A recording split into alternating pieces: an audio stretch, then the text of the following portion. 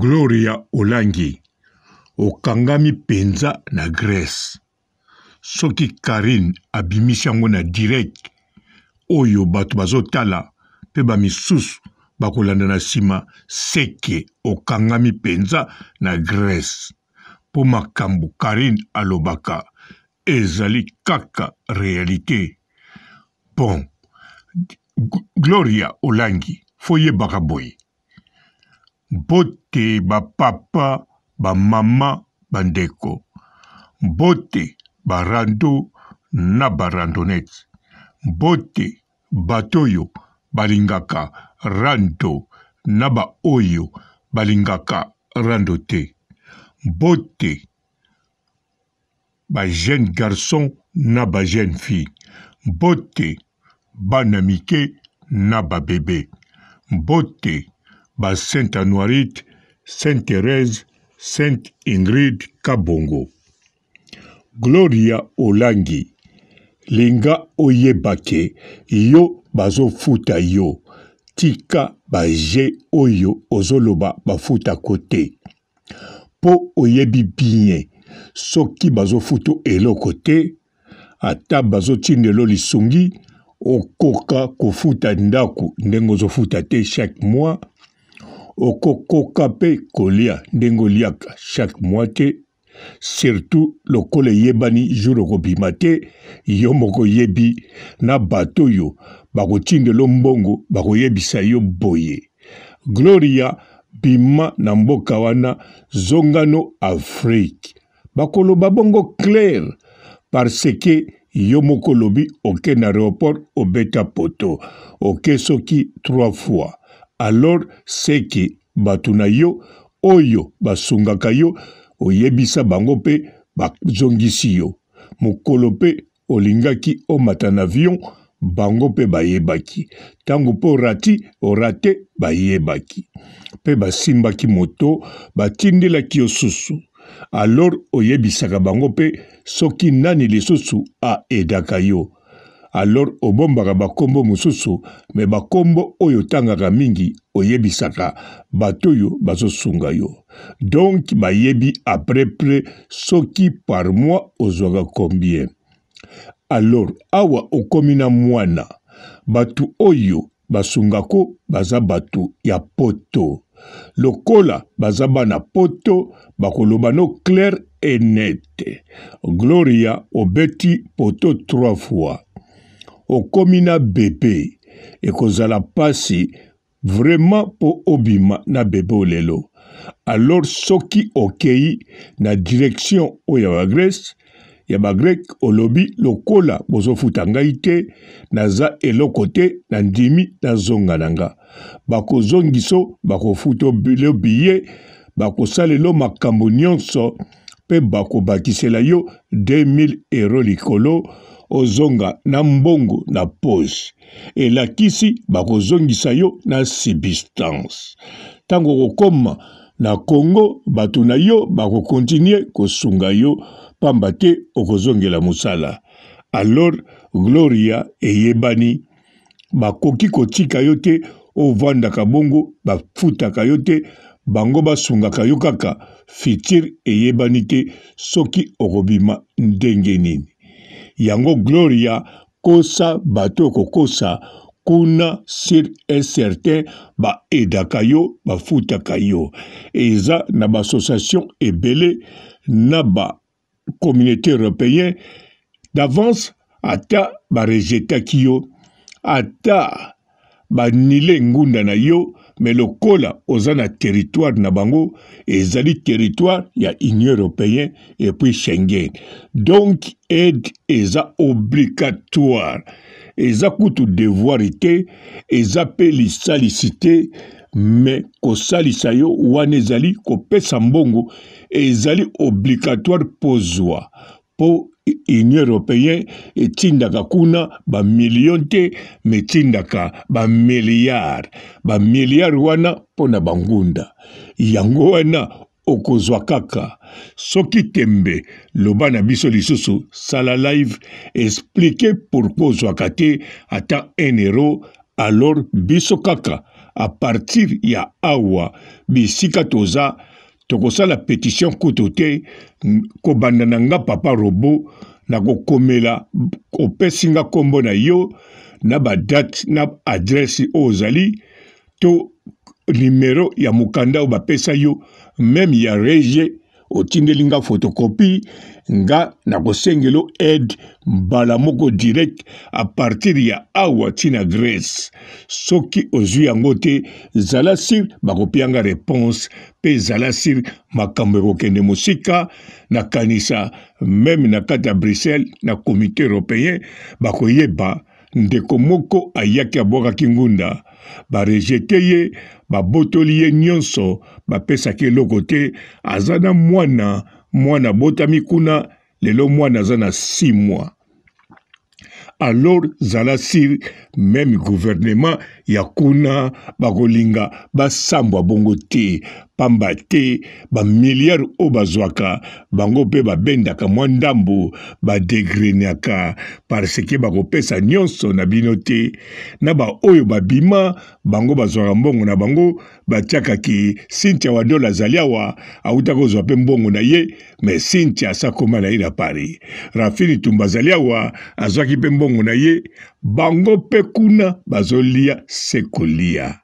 Alors likambo oyo ozwaka eloko te, bafutako eloko te, En tout cas, wana kosa mokili obia kosa kaka bato oyo bandimi bakosama bakota me nga papa robo eza mpasi nakota na poshi na yo me mokotisi nga ata batonga ngo na tayere oyo ya kartier na biso mbuta françois me zala seri nga nakobima ndenge mai ebimaka na poshi Alors, Gloria Olangi, baninga na yo oyo basubaka na mbetu soki babima na ba oyo obanda koloba bazotekama kitoko soki babima parce que bayebaki na aeroport moto atiaka bato mbamba oyo yo obengaka marocain me marocain wana soko opesi ye loketo amati mpunda zala sire akolongwa marocain akokoma congolais okoleka kitoko na ndenge akosakana te en plus eyebani nango ntina bamindele awa na poto bayebi yango bato oyo basalaka na service ya immigration kaka kuna na mboka ozali balela kutu cop koleka bacongolais voire meme bakendeke apres mosala na bango azongi ndako asukoli baye na parke wana yo moko oyebi yango na face ya parlement mpo na kobeta kaka cop na bangunda koteka bangunda na mibali to na basi mpe kosolola makambo etali olinga kobima ngai na kobetelo cop makambo boye Coop kuna evanda mpenza kitoko. Oyo atyeli nga tembe soki boke na Grèce ezala ozalaka na Europa kote oyo ezala oza na kati ya Grèce kende na Athènes na face ya parlement na bango na ngambo ya parlement okomona parke ya monene ezalaka kuna okomona mpe bamekala ba ba restaurant ba bar eza wana en tout cas ambiance ezalaka wana tongo sa kende kuna okomona makambo ngai nazoloba eza likambo ya maseki te eza nde ya solo alors gloria olangi yo kuna ozo force na baaniversaire osala ba anniversaire ya bato bazalaka kuna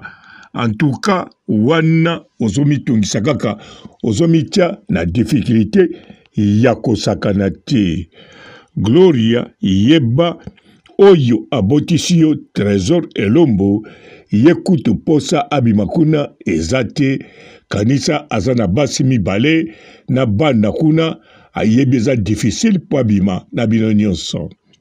Alors ye lokola bapesi ye ndako ya monene na kati ya Grèce, ndenge moko na Bagrèce, azozwa mpe mbongo ya kitoko mpe mwa mokanda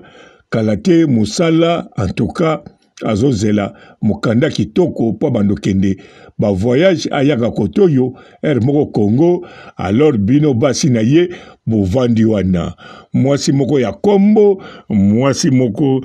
Charlie Elumbe oyo mwasi moko alangwisa Tresor Elumbu banda Congo banda partout Tresor atikaka ye te meme pendant 12 heures du temps yango Tresor Elumbu ndenge aza wana akolinga mpe te amema bango aya na bango na kote oyo abandela makambo kuna tresor elumbu aza à l'aise aza na basi mibale moko ayebana azwaka bacode moko nde alangwisaka ye bote eleka mpe soki azobina antuka abinisaka ye kitoko yango wana tresor elombo ndenge nini azala te mobali azanga lisumu yango wana Gloria Olangi, en tout cas mama ozali mpenza ya kokangama. Na confirme makambo Karine Mokonzi alobaki. Bandeko oyo sekaki basubaka lelo oyo baza kosuba na propre mbetu na bango nayebisi yo Rafi Litumba azwi ndako ya 3 pièces bapesi ye na sociale mpe azosala aza vraiment à l'aise aza kosuba kitoko na kati ya mbetu na ye atya bashase likolo kobanga te ekobeba te alors wadol mpe kuna kala te akobota na kati ya panama yo kuna okangami kaka en tout cas problème Bonjour fidèle internaute de www.elengiakombatv. Bonjour, bonsoir, balandi nyonso ya elengi ya komba. Hein? Congolaise TV. Bote belé belé belé partout dans le monde, partout où vous êtes, partout où vous êtes, elengi ya combat TV vraiment. Bonjour, bonsoir, na ba abonné ba fan nyonso ya elengi ya combat congolais TV. Bonjour à mon boss, on a appelé ça vraiment un panzi. Bonjour à mon boss, je suis Pekiama. Je salue mon boss Balobi.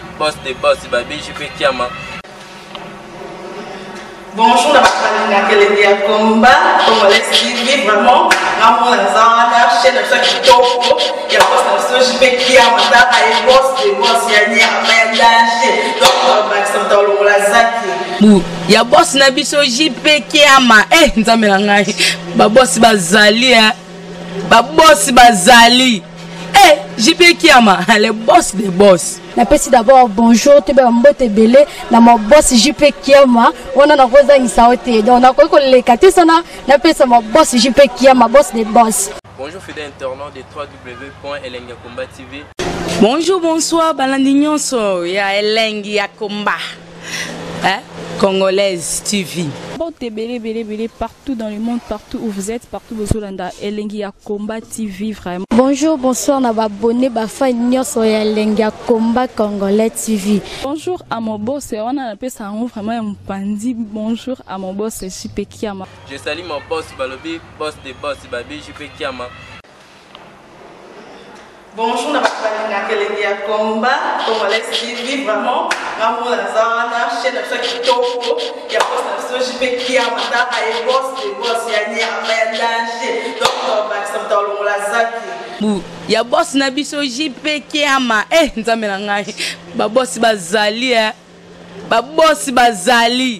Eh, JP Kiama, le boss des boss. napesi d'abord bonjour toyeba bambote ebele na mabosi jp kiama wana nakozangisa yo te donc nakoki koleka te sana napesa mabosi jp kiama boss de boss mbote ebele ebele ebele partout dans le monde partout où vous êtes partout bozolanda elengi ya Combat TV vraiment. Bonjour, bonsoir na babone bafa nyonso ya elengi ya Combat Congolais TV. Bonjour à mon boss, wana napesa yango vraiment ya mopanzi. Bonjour à mon boss JP Kiama. Je salue mon boss balobi boss de boss babi JP Kiama.